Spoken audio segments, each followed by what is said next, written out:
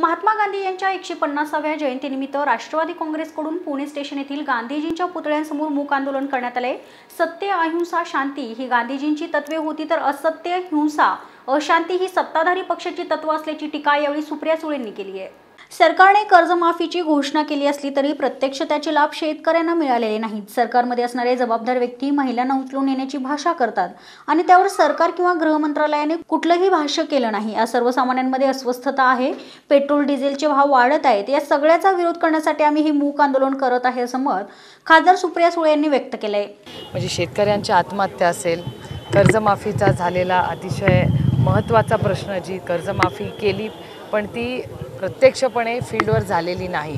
मुद्रामध्ये झालेला गोंधळ आज रोजगारासारखा अतिशय महत्त्वाचा प्रश्न. शिक्षणात होणारे प्रश्न सातत्याने महिलांवर होणारे अत्याचार विधानं जी सरकारकडून घेत आहेत आणि त्याच्यावर सरकार एखादं जवार व्यक्तिमत्व जेव्हा महिलांना उचलून न्यायची भाषा करतं आणि तेव्हा सरकारकडून आणि माझी अपेक्षा होती की गृह मंत्रालयाने महिलांच्या सुरक्षिततेसाठी बोलावं तसं कुठलंही विधान आलेलं नाही.